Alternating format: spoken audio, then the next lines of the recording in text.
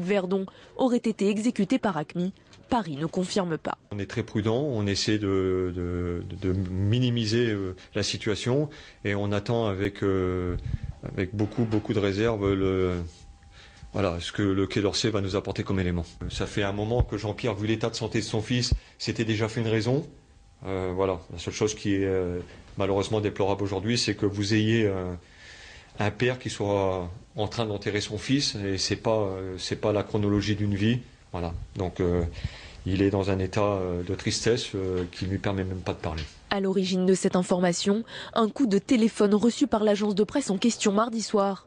Au bout du fil, un dénommé Al Kouerawani présenté comme un porte-parole d'ACMI, le même homme qui il y a quelques semaines était pourtant donné pour mort. Selon cet interlocuteur, donc, Philippe Verdon, qualifié d'agent des services secrets, aurait été tué le 10 mars en réponse à l'intervention de la France dans le nord du Mali. Et le communiqué précise, le président Hollande est responsable de la vie des autres otages français. Philippe Verdon avait été enlevé en novembre 2011 dans le nord du Mali.